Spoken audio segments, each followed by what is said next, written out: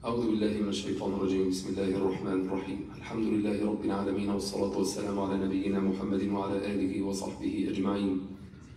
سبحانك لا علم لنا إلا ما علمتنا إنك أنت العليم الحكيم. رب اشرح لي صدري ويسر لي أمري واحلل عقدة من لساني يفقه قولي.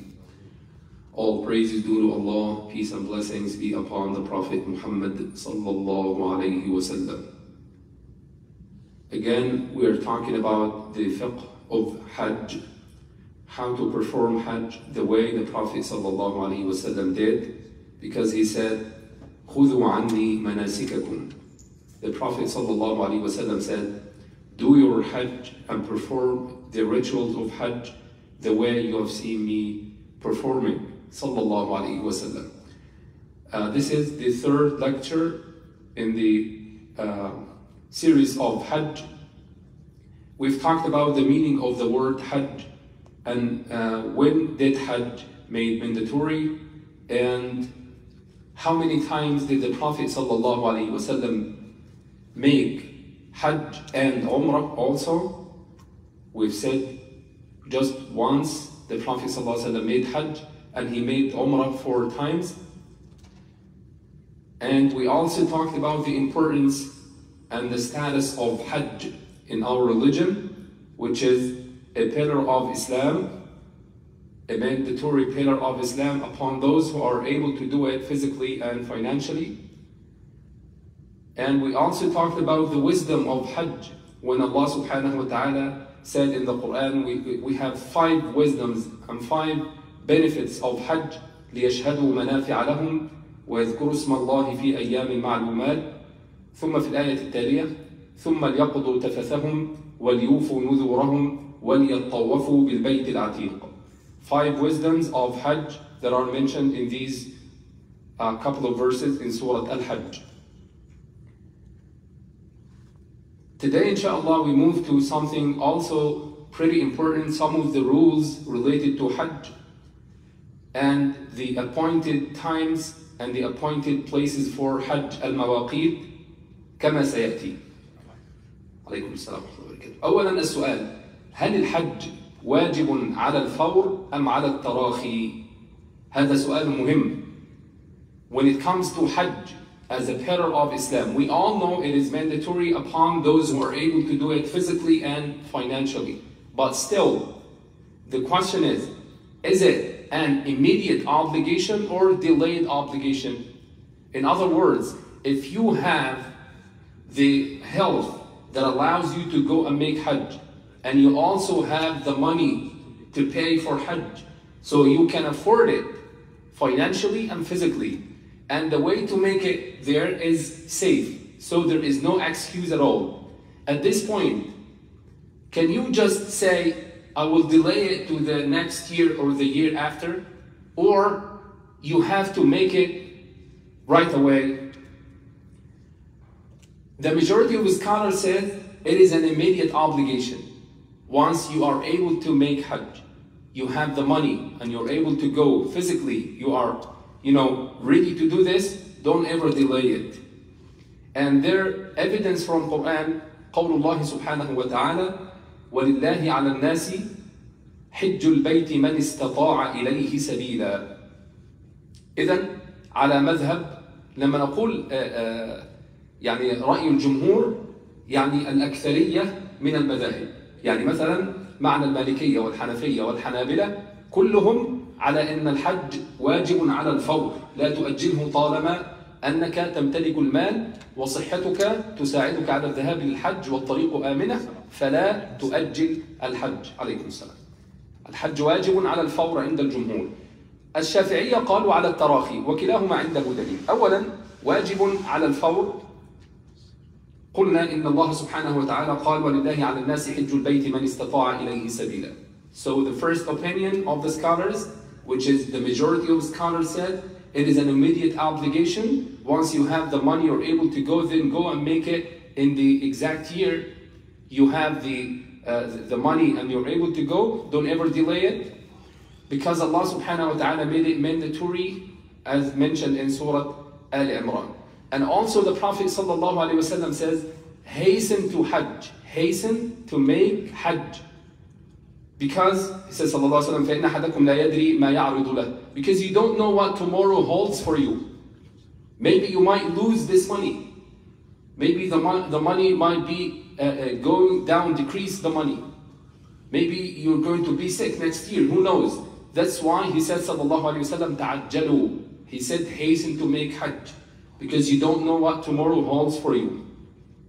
Upon this opinion, they said, if someone has the money and has the, the, the health that allows him to go, but he did not do, he is a sinner, athim. And they said, if afterwards he lost this money, he still have to make Hajj, even if he has to take a loan to go and make Hajj. And if he dies, still he is a sinner. And the, the, the people who will inherit him, they should go and make Hajj from his tariqah, from the, the money he left behind. Why? Because he was able to go and make Hajj, but he did not do. إذا الحج واجب على الفور عند أغلب أو عند رأي الجمهور طالما أن الإنسان يستطيع ومعه المال فلا يؤجل يذهب مباشرة لأداء الحج قلنا لقول الله تعالى ولله على الناس حج البيت من استطاع إليه سبيلا ولقول نبينا صلى الله عليه وسلم تعجلوا إلى الحج فإن أحدكم لا يدري ما يعرض له طيب القول الثاني وهو قول الشافعية فقط قالوا هو واجب على التراخي they said you have the option to delay Hajj even if you, you are able to and you have the money. But this is not the majority of scholars. This only Shafi'i. Why? Because they said the Prophet ﷺ did not make Hajj right away in the year where Hajj made mandatory. We said that Hajj made mandatory in the ninth year of Hijrah, but the Prophet ﷺ made his only Hajj in the tenth year of Hijrah. But basically, we mentioned that there was a reason for this. If you remember, like two weeks ago, we said the Prophet ﷺ did not go in the ninth year of Hijrah because there was still some of the disbelievers. They were uh, uh, circling Kaaba, making tawaf. Some of them were naked, and some of them were making tawaf and saying uh, uh, uh, just the names of the other God they claim associating with Allah subhanahu wa ta'ala. إذا كان هناك بعض المشركين ما زال يطوف بالبيت وبعضهم كما ذكرنا كانوا يقولون لا يمكن أن نذهب لأداء الحج بملابس ارتكبنا فيها ذنوب طيب ماذا نفعل؟ بعضهم يقول نشتري ملبسا جديدا. طيب لو لم أستطع أن أشتري ملبسا قالوا ننزع لباسنا ونطوف عرايا لكن لا نطوف في, في ثياب فيها ذنب. كانت هذه عقليتهم. فالنبي صلى الله عليه وسلم لا يتصور أن يكون بين هؤلاء. فأجل الحج إلى العام العاشر من الهجرة. So, uh, to sum up, the majority of scholars says Hajj is an immediate obligation. Once you have the money, your health allows you to go, and the way is safe. There is no, there is nothing that might hinder you from going and make Hajj. Just go right away and apply for a visa, and we ask Allah to make it easy for all Muslims. Allahumma ameen. طيب الأمر الثاني يا أحباب عندنا شيء اسمه مواقيت للحج وللعمرة أيضا مواقيت الحج والعمرة الأصل عندنا هو قول الله سبحانه وتعالى يسألونك عن الأهلة قل هي مواقيت للناس والحج لكن ده ميقات زماني هناك أيضا ميقات مكاني طيب الله سبحانه وتعالى says in سورة البقرة They ask you, O Prophet صلى الله عليه وسلم about the phases of the moon. Say, they are a means for people to determine time and pilgrimage. This is, we call it al-miqat al-zamani, the appointed time for Hajj. We've also the appointed places to start ihram from. Also to make Hajj and to make Umrah. إذا ميقات زماني وميقات مكاني.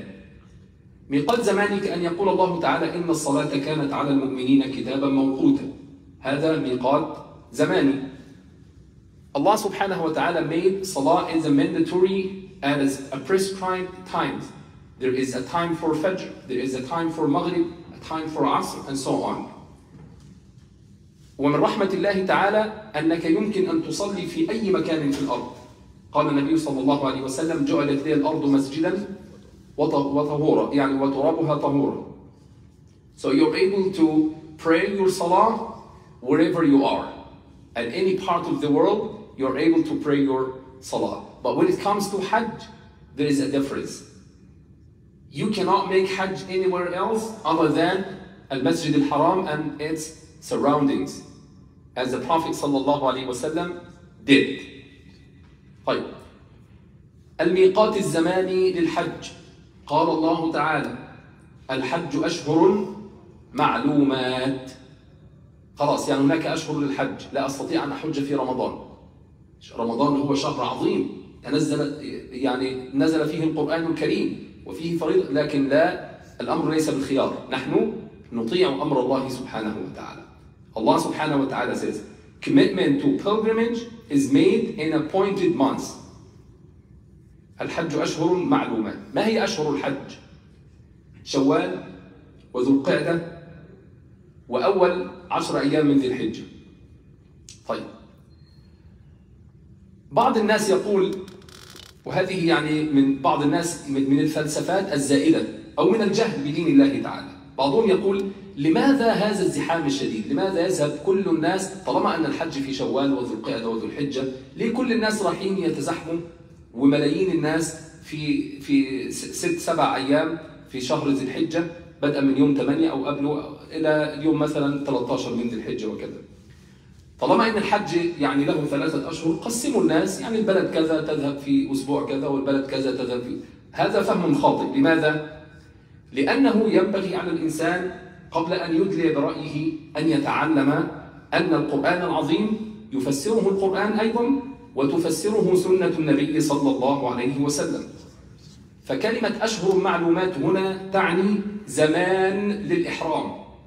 يعني زمن الإحرام يكون يصح أن يكون في شهر شوال وفي شهر ذي القعدة وفي شهر ذي الحجة أما أعمال الحج فإنها تبدأ كما تعلمون من يوم الثامن من ذي الحجة اللي هو يوم التروية So when Allah subhanahu wa ta'ala says that, that uh, uh, Al-Hajj pilgrimage is made appointed in months or in, uh, in several months, this means that the intention to make Hajj could be made earlier.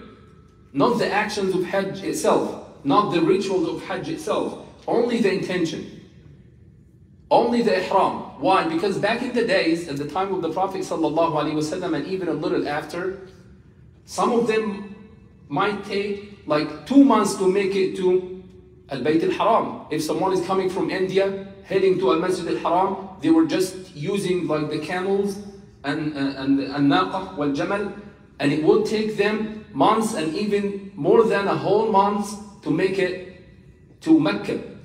For those people, they were allowed to make ihram and the intention, I mean the intention for Hajj or Umrah, and then they start their journey and it took them and it takes them like one month, uh, one month, two months, and so.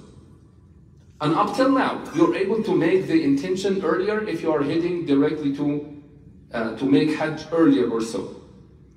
إذا الخلاصة أن قول الله سبحانه وتعالى الحج أشهر معلومات اللي هو شوال وذو القعدة وذو الحجة أو أول عشر أيام من ذو الحجة المقصد منها نية الحج وبدء يعني بدء النية وبدء الإحرام للحج يصح في هذا الزمن في هذه الأشهر أما أعمال الحج فلها وقت مخصوص وهي أيام كما قال الله تعالى في أيام ويذكر اسم الله في أيام المعلومات طيب الميقات المكاني now we said that there is two uh, different when, when we say the word al-miqat we mean it related to time and it's related to the place the appointed times and Shawwal, Dhul Qa'dah, Dhul Hijjah. You're able to start the niyyah of Ihram during these months. And the appointed places for every direction, for those who are uh, uh, traveling from here, for example, and those who are a resident of Mecca, and those who will uh, stop by Medina, and those who are coming from Asham, those who are coming from Al Yemen, those who are coming from, and so on. For every direction, there is a place that you cannot pass until you have the intention of ihram and to start putting the uh, ihram clothes which has no uh, threads in it.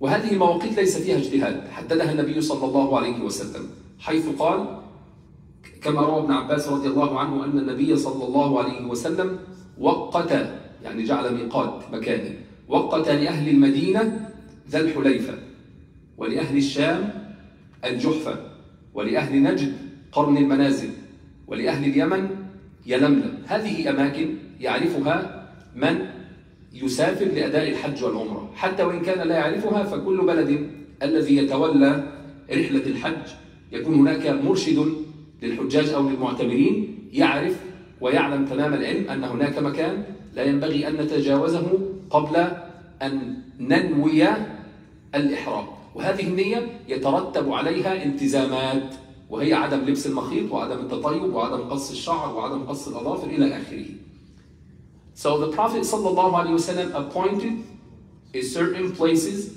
for those people who are heading to make Hajj, heading to Mecca, from every direction of the world. You are heading from a certain direction, so if you are passing by any of these places that are mentioned in the Hadith, even though you are not a resident of that place, then start your niyyah of ihram from over there. The problem that, that people might feel, what if I am traveling by airplane? Where should I start the ihram? You know what? You could even have yourself ready, put your ihram, but the, the niyyah itself, the intention itself, just made it when you pass by the place of ihram, al-miqat I mean, I mean, or to, uh, uh, when you are passing parallel to the place that are that is appointed in this hadith. And this actually, as I mentioned to you, you and I cannot just, you know, uh, imagine it or just guess it if we are in the aeroplane. There should be a plan ahead of time. Yeah, they announce it. Correct. They announce it and it should be planned ahead of time. So you, inshallah, you, you, you are not going to pass the place, the, the appointed place for making hajj, uh, I'm, I'm sorry, for making niyyah, the intention of إحرام طيب يعني يمكننا أن نقسم الناس الذين يقصدون مكة للحج والعمرة إلى ثلاثة أقسام قسم بداخل مكة يعني ناس بالفعل عايشين في مكة وقسم خارج مكة ودون الميقات يعني أقرب إلى مكة وقسم خارج مكة. القسم الذي بداخل مكة ميقاتهم مكة. يعني أمرهم سهل طيب القسم الذي في خارج مكة ودون الميقات كأهل جدة ميقاتهم ميقاته من داخل محلته كما قال النبي صلى الله عليه وسلم ومن كان دونهن يعني ومن كان دون هذه المواقيت التي ذكرت المواقيت المكانية التي ذكرت في الحديث فمهله من أهله. يعني يهل يبدأ نية الإحرام من مكانه. قسم خارج مكة ما حدده النبي صلى الله عليه وسلم. طيب هنرجع للقسم الأول؟ ناس يعيشون في مكة. كيف يحرمون للحج والعمرة في فارق؟ خلي بالك.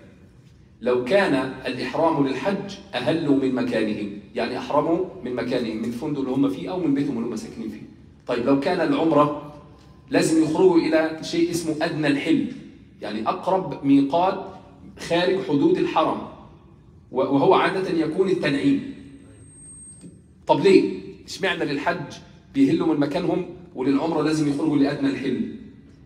لأن من ضمن أركان الحج كما تعلمون الوقوف بعرفة صحيح؟ وعرفة ليس من الحرم أصلا. يعني عرفة ليس من ضمن حدود الحرم.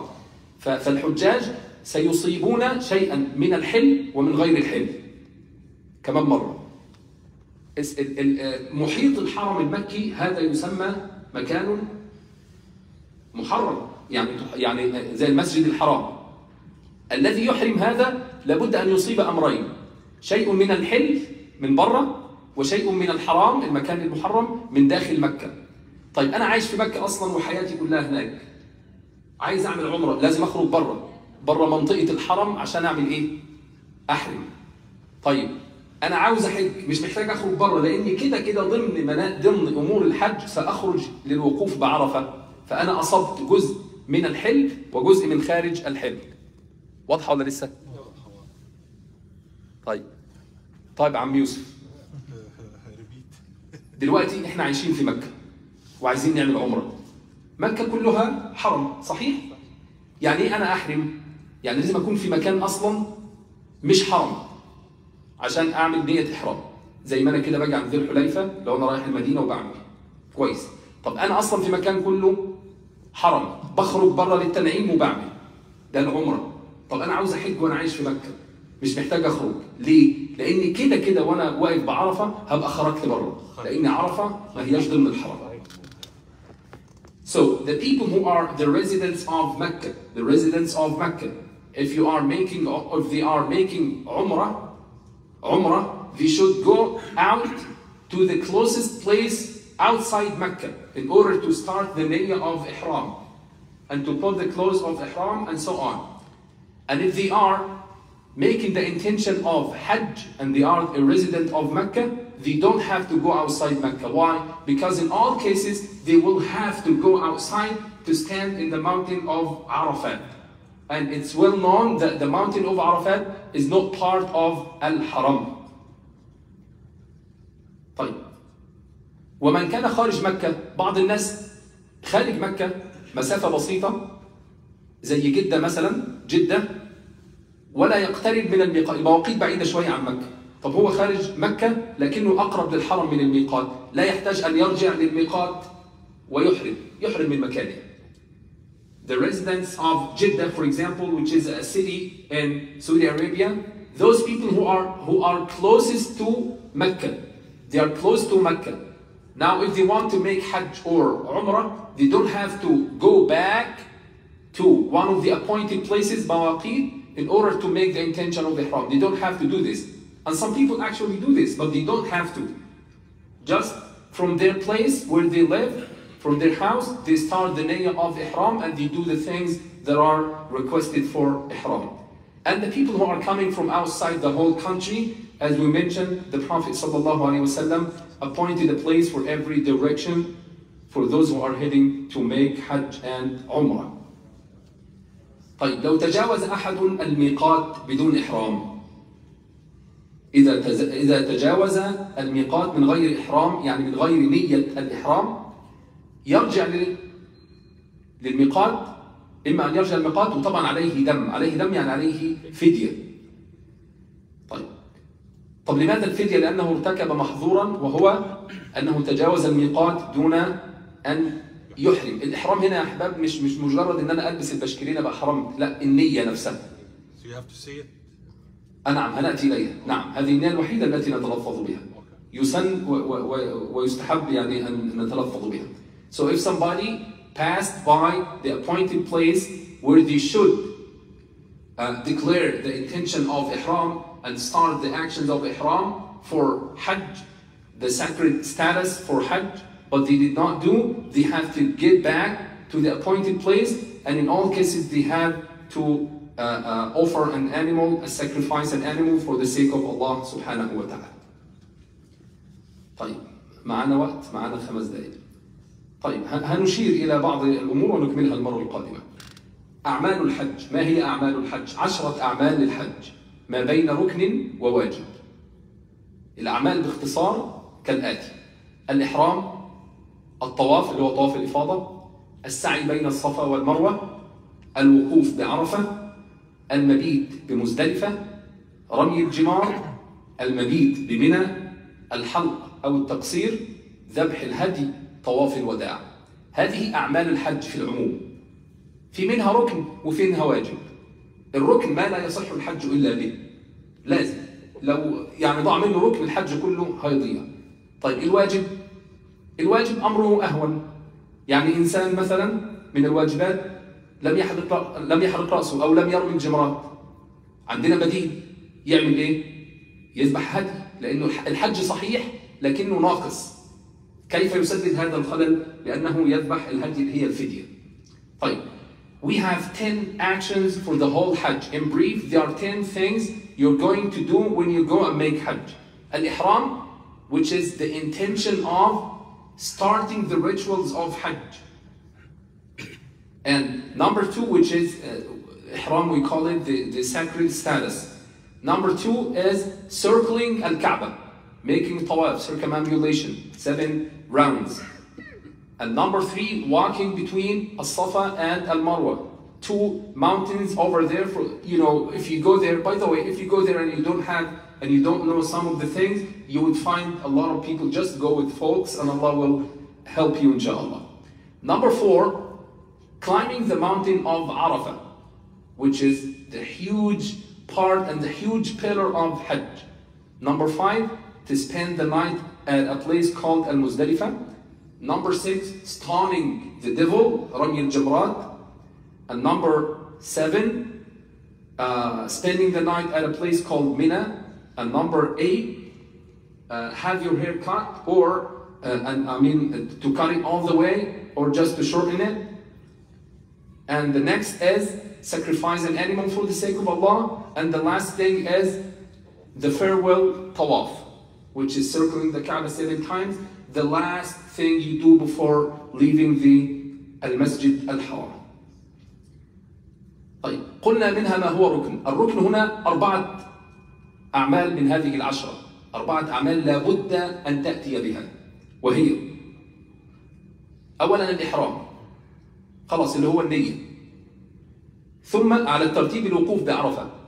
وبعدين طواف الإفاضة. وبعدين السعي بين الصفا والمروة هذه الأربعة لابد أن يأتي بها الحج لو واحدة راحت منهم الحج كله يبقى مشكلة We have four pillars for Hajj. They should be performed. No matter what, you have to perform all of them. Or at least to get the minimum of them. For example, when we say that in the ninth day of the Hijjah, we stand or we climb the mountain of Arafah during the daytime. You don't have to spend the 12 hours on the mountain of Arafah if you cannot do this. If you spend only one minute, it is sufficient for you. Of course, people will be will be competing to spend the, the you know as, as much time as, as they could, but I'm just saying if someone felt kind of sick or they cannot spend a lot of time, at least pass by the mountain of Arafah. A few seconds will be enough. This is the minimum. That's why we say the arkan, the pillars of Hajj, there is no excuse to leave or to abandon any of them. Which are four things the intention of starting the rituals of Hajj al Ihram. Number two, standing in the mountain on the mountain of Arafat. Number three, to make tawaf. We call it tawaf al ifada. فإذا أفضتم من عرفات فاذكروا الله. Number four, walking between As-Safa and Al-Marwa. Inshallah, we continue next week. We have a little things related to the uh, the word ihram, and we continue inshallah uh, with the rest of things. Yes. لماذا يقول الحج عرفه؟ هذا بوردة يعني ما ما صار له ثلاثة بس قال عرفه. You have to لابد عرفه الحج عرفه. طيب